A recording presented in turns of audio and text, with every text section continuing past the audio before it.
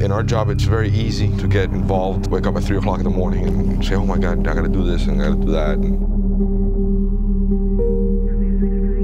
But I try to disconnect myself totally from my job. Because if not, I mean, you, you'll go crazy.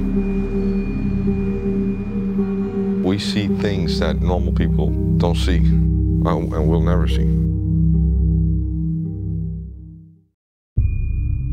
Most difficult thing about being a homicide detective is when you have a case and you know who did it, but you can't prove it. It's like putting a puzzle together. You have to have everything kind of fall in place. It's, it's hard, it's draining, it's very draining. The hope is someday somebody's going to get in trouble and they're going to need to talk. And that's when you can get the proof. That's when you can solve the case.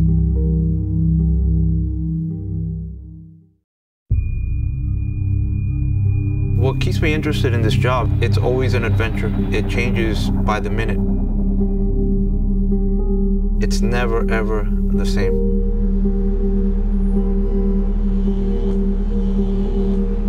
One of the things we never say around the office is, oh, it's, it's a quiet day, because rest assured, everything goes downhill right after that, and you don't stop.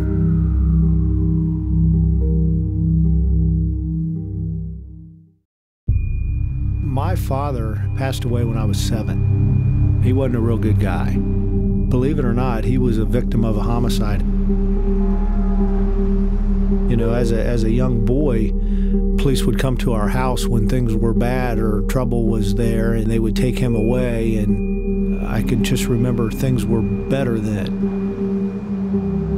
I would say, when I grow up, I want to be a policeman.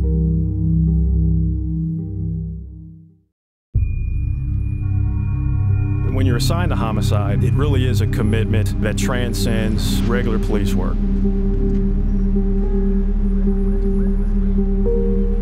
You quickly learn that you work for the victim's family members. You work for the wives, you work for the mothers. That's the reason I do what I do.